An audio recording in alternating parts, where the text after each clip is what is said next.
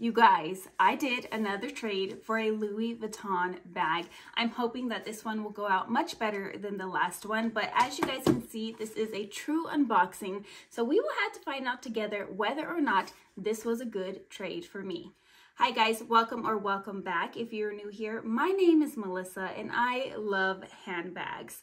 In 2024, I am trying to shop less, so I'm only allowing myself to buy three handbags total in the year of 2024.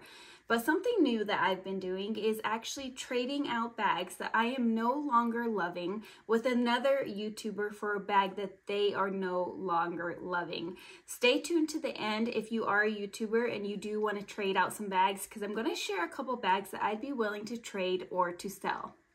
Today's trade is with Liz. If you guys have not come across her channel yet, where have you been? She has a wonderful channel. She is so down to earth. I absolutely love her personality. I will have her channel linked down below, but her motto is nothing but bags. So she's not so into her fashion and into her style, although I have to say I disagree because her style is on and popping in my personal opinion. You guys, she loves a good denim jacket just like I do if you are not a stranger here. So she does have a beautiful style in my humble opinion, but she loves bags. That's where it's at for her. She matches her outfits to the bags. The bags are the star of the show which if you've been here for quite a while, then you know that I have said that about my own personal style many, many times. I don't like to spend tons and tons of money on clothing, like this is from Amazon, but I do love to buy specific things that are the star of the show. Generally, that comes in the form of my handbag. Okay, let's go ahead and dive right into this. As I mentioned, it's a true unboxing. As you can see here, I do have my box cutter. I'm doing my best not to show you guys my address. It's on the other side, so hopefully I won't have to blur anything out. But let's go ahead and see what's inside of here. Now, Liz and I are both kind of anxious people, which is honestly something I'm grateful for because our communication during this process was spot on and she really did understand my anxious communication level. So that I really, really appreciate. She had it boxed up at the UPS store. They did a very good job, Liz, just in case you were wondering. Okay, so here is the bag. I did let her know that she could keep her dust bag if she wanted to. She didn't have to send it to me because I didn't have a Louis Vuitton dust bag to uh, send with the bag that I sent to her. If you guys want to see what bag I traded her, you're definitely going to have to check out her channel. I forgot to mention earlier, you guys, when I was ranting and raving and bragging about how much I loved Liz and how much I love her channel, is that today's video is actually a collaboration video. So she's going to do a video on what bag I traded her for this bag. Okay, so let's go ahead and take a look. Now, I have a feeling that this is not the dust bag that actually goes with the bag. Liz, let us know down below what the secret is on this dust bag because it's definitely large and in charge. You guys, I can see the color already and it is so stunning. You guys, look at how beautiful this color is. I'm just taking it in. I haven't seen it in person at all, as you guys know by now with the true unboxing, but it's absolutely stunning. This is like my favorite color of blue. It's like a periwinkle blue. It almost has a little bit of purple to it. It has the silver hardware, which you guys know is my favorite. I am a cool tone girly, and I do have something I want to share with about that as well with you guys. And then here is the inside. It comes with the guitar strap. This is the part I was torn about because I love the look of a guitar strap, but I don't actually use guitar straps very often. But I am a shoulder bag girly. I don't like a crossbody bag, but if I'm dressed up, I tend to go for the bag top handle. So the strap is something that I will use when I'm dressing more casual or if I'm wearing this bag to work. Woo! Get a breath, Melissa. And this is how I will carry it if I'm carrying it top handle. Okay, so here is the interior of the bag. As you can see, it's absolutely stunning.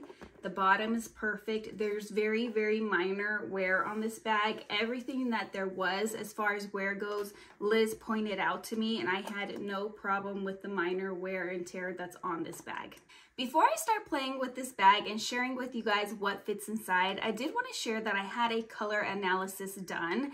If you guys are not new here, then you might know that I've been on this journey of curating my closet. It's a very slow journey because I'm not actually purchasing anything right now, but I am cleaning out colors that don't work for me or I find that are very, very difficult for me to style, which is actually why I traded my YSL college bag for my pink Alma BB because pink is in my color palette but so is this beautiful periwinkle blue. I will share with you guys my curated color palette by my color analysis. I think that the colors are absolutely stunning.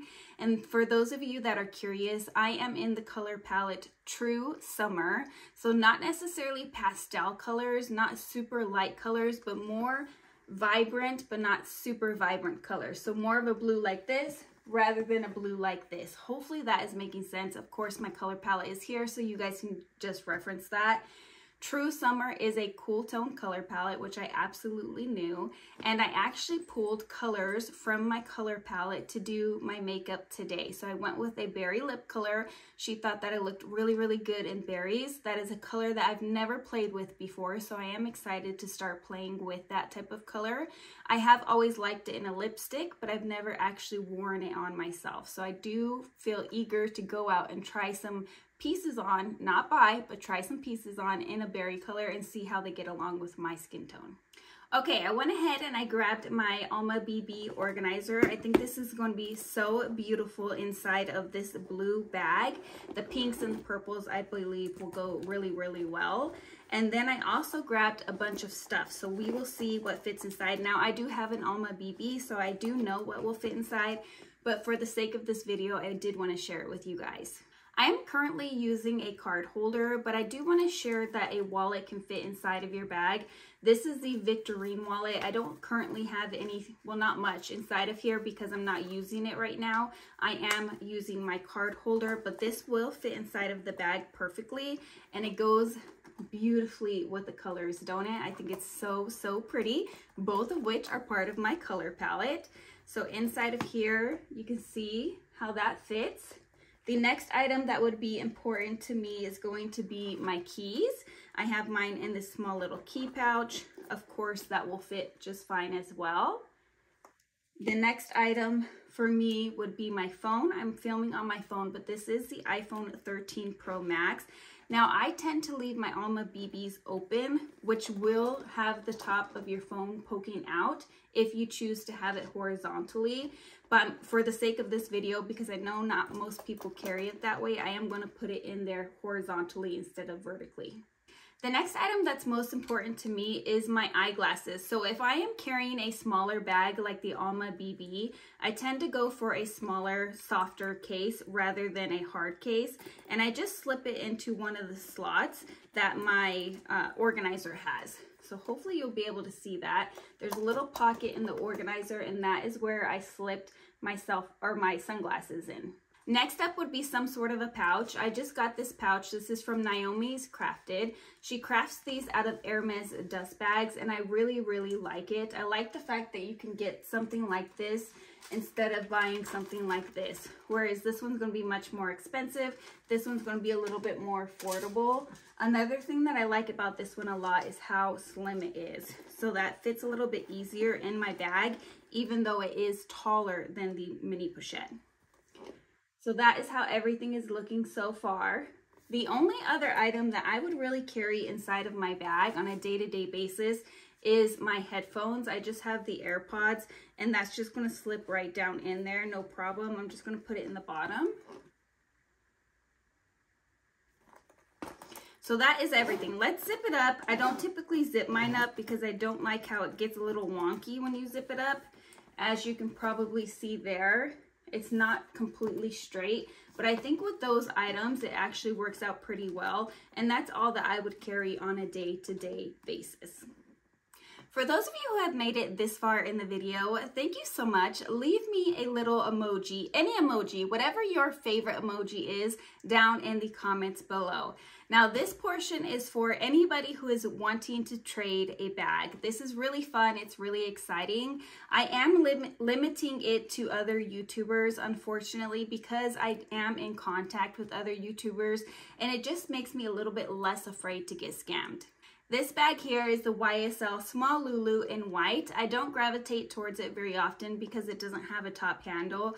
I'm willing to trade this bag for another bag. It's not in perfect condition, but it is in really good condition. I believe it has a popped stitch right here. If you guys can see that and then the glue is turning a little bit yellow right here. That is the only issue with it. There isn't any corner wear, there's no staining, there's no smell, nothing like that. So this bag is up for trade if anybody would be interested. This is another beautiful bag that is up for trade. This unfortunately doesn't work with my color palette and it's hard to use because it is so heavy. Now the heaviness wouldn't bother me as much if this was in my color palette, but it's not. And because it's more of a warm tone, very warm tone, it's very hard for me to style. This is another one that's in very good condition, but it's not in perfect condition. It does have some um, almost like dirty marks on it where it looks a little bit more dirty, a little less clean. You can clean that off with a, with a suede cleaner. Other than that, there's no issues, no corner wear, no tears, no smells, nothing like that. So this is another bag that is up for trade. This is another bag that is up for trade. Unfortunately, this is a bag that was just a huge mistake on my part. It's very functional, it's very comfortable, it's very practical, but I picked the wrong color, you guys. I should have gone with a cool tone color. I will say that this bag gets dirty really easy because it is a neon color, but you can simply take a wet wipe and it wipes right off. As far as staining goes, there's no staining on the bag. There's no corner wear that I can see. There's nothing wrong with the bag other than the fact that it's the wrong color for me. There is a tiny, tiny little nick right there. Hopefully you'll be able to see it. So if anybody's interested in this, and of course I could send you guys more photos and more um, video footage if you guys are interested. So let me know if you'd be interested in this. That is all that is in my collection that I'm not gravitating towards or using at the moment.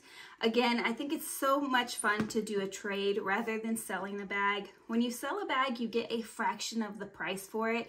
But when you do a trade, for me personally, I feel like I'm not losing out on anything, even if the trade is for a lesser value bag. Because if I were to sell a bag, let's say I sold this bag to Fashionphile. Let's say I got $900 from Fashionphile for it.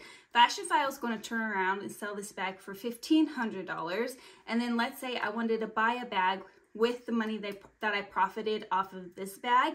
I would only have eight or nine hundred dollars to spend on a bag. So then I'd go to Fashionphile and I'd be spending my own money. Whereas if I were to do a trade, it's an even trade. I'm not losing any money and it's something new and exciting that I get to love and use in my collection. And I get to clean house and get rid of something that I'm not using.